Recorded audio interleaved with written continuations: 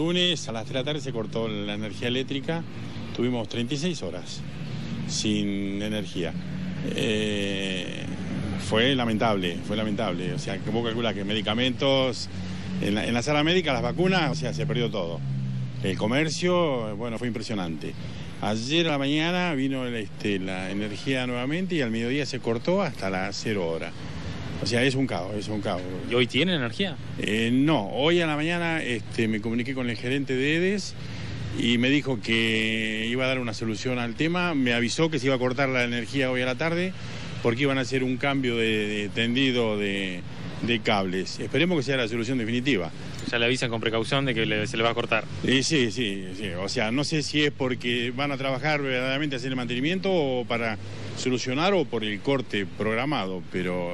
Difícil pasar estas horas con tanto calor, ¿no? No, no, es impresionante. Todavía no llegó el verano. Y todavía no llegó el verano, eso es lo que nos espera más tarde. No, pero es lamentable porque tenemos gente jubilada que han tenido que salir a comprar este, este grupos de electrógeno que no están en condiciones de hacerlo, porque tienen familias afuera, porque tienen comida, el comercio, el carnicero, el supermercado, la farmacia, o sea, todo el mundo. Acá, acá la pagamos todo. ¿Y las pérdidas se hace cargo alguien? No, no. ¿Y qué- a quién le vas a reclamar? Si es, es imposible reclamarle. Lleva una factura EDE. El otro día vino una mujer. Ayer.